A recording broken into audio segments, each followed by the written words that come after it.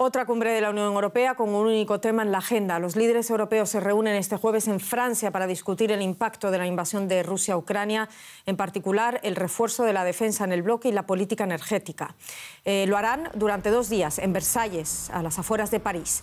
Y Emmanuel Macron, el presidente francés, eh, aquí lo vemos eh, en un encuentro con su homólogo holandés, Mark Rutte, volverá a concentrar las miradas. Francia quiere consensuar entre los 27 una fecha para cerrar el grifo de las importaciones de gas ruso y objetivos de reducción de esa dependencia cuanto antes.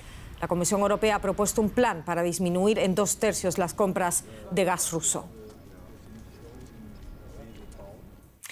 Pues sí, los líderes europeos se reúnen hoy en Versalles para discutir los desafíos de esta guerra, así como el pedido de Ucrania de sumarse de inmediato al bloque. María García Sornosa en Bruselas. ¿Qué se espera de este encuentro, María?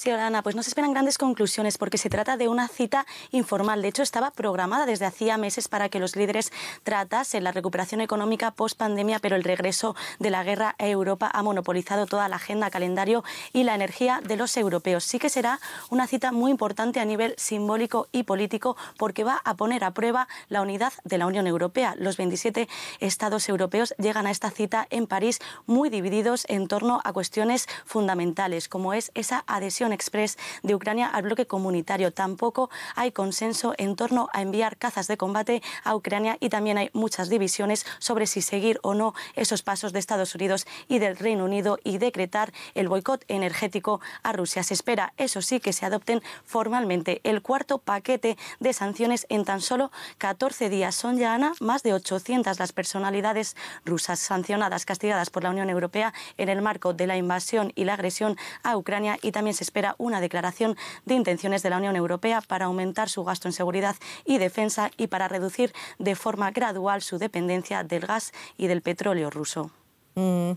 María, a pesar de las divisiones que me comentas, eh, lo cierto es que vemos a una Europa unida, eh, por lo menos en cuestiones básicas. De acuerdo con un borrador de esa declaración de la cumbre, los líderes del bloque señalan que la agresión de Rusia a Ucrania constituye un cambio tectónico en la historia de Europa. Dime qué significa esto y qué más puede hacer Europa. Ya lo mencionabas brevemente con, más sanciones.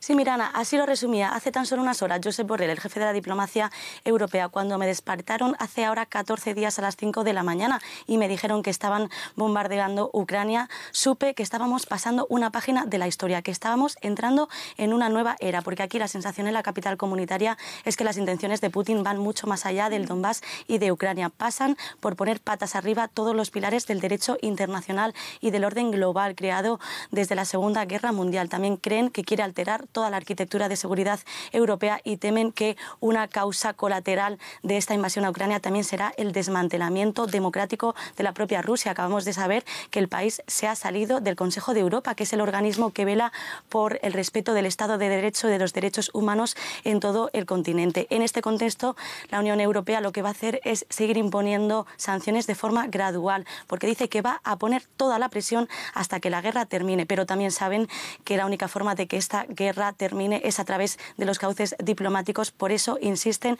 en mantener vivas las negociaciones directas e incondicionales, dicen, entre Moscú y Kiev, pero eso sí piden hacerlo bajo el abrigo, bajo el amparo de Naciones Unidas. Muchísimas gracias por todo esto, María. Gracias. Un placer, Ana.